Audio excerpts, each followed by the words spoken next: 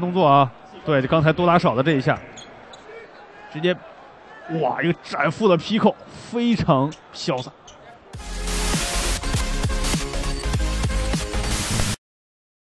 北京，必胜！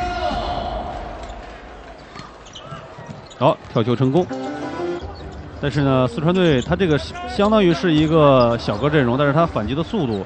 其实并不是特别的快，哎哎哎，漂亮啊！刚才刘晓宇那一下可能还是这个左腿的伤势啊，使他吃不上劲儿，脚底一滑，完全被黄荣奇给过掉了。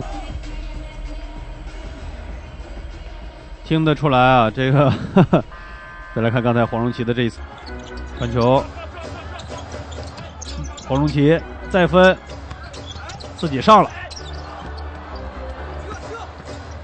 四川队球没有交到迪奥古的手上，还是在围绕着哈达迪打。哎，来了，迪奥古三分球，出手就有啊！应该说到目前为止，所有中途更换，嗯，更换球呃外援的这个球队当中啊，迪奥古目前是最成。这个汉密尔顿啊，北京首钢的球迷给他起了个外号叫大汉，所以呢，进球之后呢，主场的音乐是好汉歌。刚才长林单打的时候啊，是索性自己打就好了，漂亮！黄荣奇这球迎着段江鹏和翟小川两个人的封盖，哎，又直接传丢了。